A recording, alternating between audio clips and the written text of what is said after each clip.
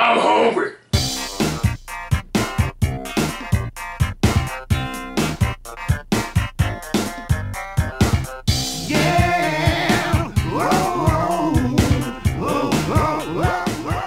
From the land of the rising sun comes green tea flavored Kit Kats, specifically of the matcha variety. This smooth, chocolatey treat uses a light, milky white chocolate with Fuji Gyokuro tea leaves. While enveloping America's favorite wafer cookie, Japanese Kit Kats still have that trademark snap and unmistakable crunch. Give me a break.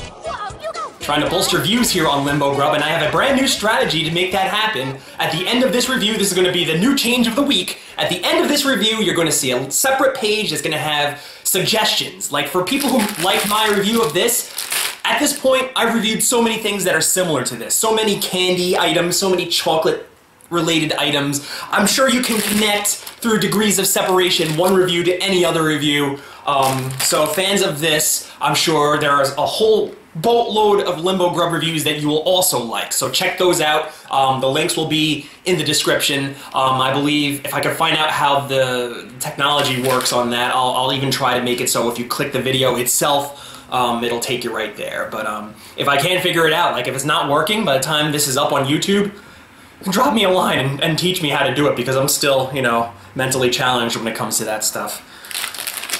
What am I looking at? Kit Kats! Green tea! Flavored Kit Kats! And you'll see that all the text on this bag is totally in Japanese. I can't escape Japanese food lately. What's going on? Is there something about the Divinity Crate that I need to know? Is it based in Japan? Is that where all the gods are living? In Japan?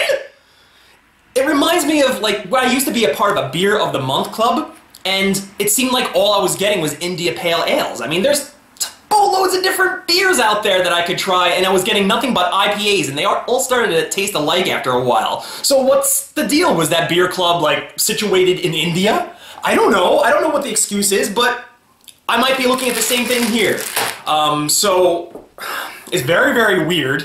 Um, I've never knew anything like this existed, but I did do some research on this, and I also found out that there is a, a soy sauce flavored Kit Kat, and that sounds absolutely dreadful.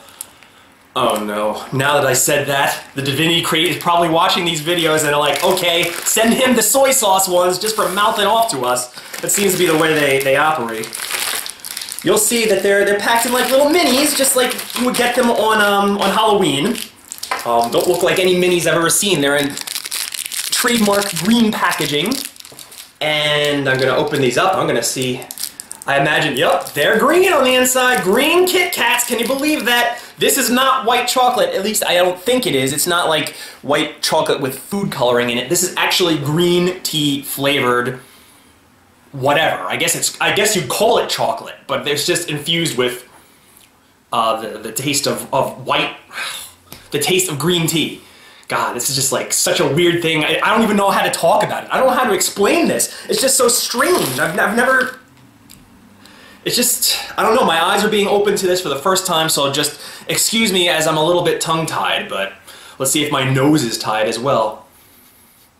It smells, maybe this is white chocolate flavored because it smells like a white chocolate Kit Kat. Almost exactly like a white chocolate Kit Kat. So I hope this isn't a boring review. I mean, I am tasting something new. At least there's something to be said about that. But, oh well, I'll let you know.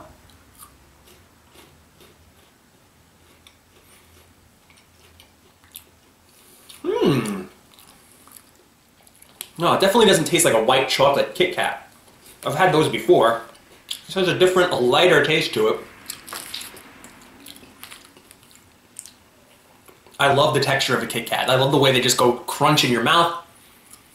Well, it's not too hard. It's actually kind of a soft crunch. You only get that with a Kit Kat and stuff like rice cakes. Very, very good feeling in your mouth. Um, these are really, really delicious in a completely different way. Do they taste like green tea? I guess they do if you concentrate on it, but the taste is so light, um, you barely notice it. But at the same time, it's got like this, this unique creaminess, kind of melts in your mouth a little bit. It's really, really good. I mean, I could see myself plowing through a, a hundred of these and not even realizing it because I guess it kind of leaves a little, um, what's the word? I, I guess it really doesn't leave an impact. Um, when you when you eat them, you, you feel like you know you're enjoying yourself, but is the taste really that great? I mean, it's such a light taste. I don't know. I really can't rave about it, but at the same time, it's not bad. Um, would I suggest you try this? I, I guess so. Just to say, just for the novelty of it, I say go out. If you find like, if you're in Japan or something, you find these, um, pick them up. They're they're actually not bad. Um, but just don't expect a a really strong green tea flavor because you're not to get that. Uh, if I were to give this a star rating, this is going to be a very hard rating. Um, I'll give it three stars because it is better than average. Um, I'm gonna have no problem eating the rest of these.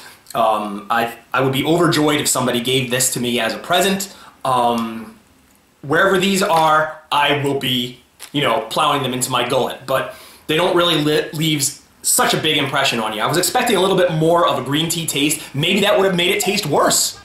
You never know, but at the same time, I was kind of hoping for that. Like, if it, if it tasted worse, I would consider it as strange it is as it is to say, if it tasted worse, I would consider it a bigger triumph because at least it tasted like green tea. So this is your good buddy Hottie Scotty Pancake 603 saying until next time, where we answer the question, is it yuck or is it yum? Ta-ta everybody! Give me more, give me more. That's true.